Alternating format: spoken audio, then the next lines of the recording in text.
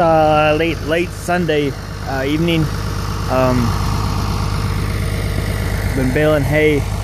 Uh, Dad got most of these bales hauled off of here uh, a couple days ago. Uh, but this paddock uh, right here is severely inhabited by gopher mounds, and it's rougher than rougher than rough. and then we've had some basically crappy weeds uh, creeping on it, and etc. So, and then I've got some uh, ruts through here. So what I'm gonna do, this is about four acres. Uh, all my paddocks out here at home are about four acres. Um, we've got about four of them that we're gonna um, redo. Uh, we've already did one, the uh, place where I got the rye. Thanks everybody that's uh, made some comments about that. Uh, we're gonna look into getting that sprayed. I'm gonna spray it myself uh, in the next in this coming week. Um, but this paddock is uh, is second on our list to uh, uh, tear up and uh, get reseeded back into sod. We kind of got it on a on a rotation to get this. Um, a lot of this stuff are kind of reseeded. It's been uh, 20 years since it's been seeded uh, initially, so uh, you know over time it gets wore out. But anyway, so most of you know I bought a chisel plow uh, last spring. I took the shanks off it and put uh, 16 inch sweeps on it, field clover sweeps on it. This is my only tillage tool uh, other than a harrow. Uh, so we try to do the best we can. But yeah, I got a 16 inch sweeps on it. We've used it once on this side. It worked this ground up perfectly. Uh, we ran it over it twice and then ran the harrow over it twice and then uh, seeded it and harrowed it again. Uh, no issues. So we're gonna do this again on this side. Uh, over here we use the uh, M to use it to plow it uh, just because the ammo is available. Uh, right now the M is on the baler, the uh, 44 is on the feed wagon because I don't have the PTO on this tractor fixed. Uh, the parts are sitting in the shop here. but we don't have it, it's not fixed so so this is the tractor that's free and I'm sure a lot of you guys want to see the nine the nine uh, plow some dirt up so so that's what we're gonna do next so stay tuned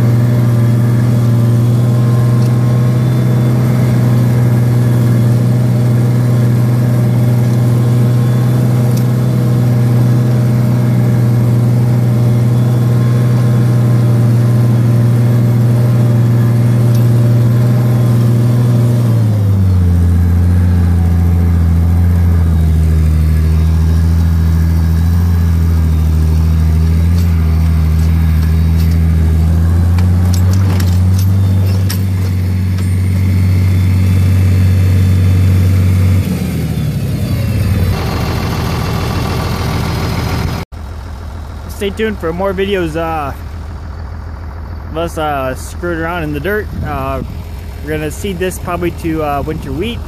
Uh, we got uh, two more pegs. We're gonna seed to winter rye uh, in the in the near future, but uh, we'll have a couple more videos.